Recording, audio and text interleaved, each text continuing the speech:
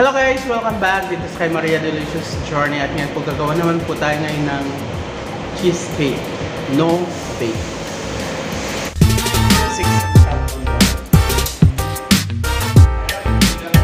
Ito naman para sa double burner natin sa cream cheese.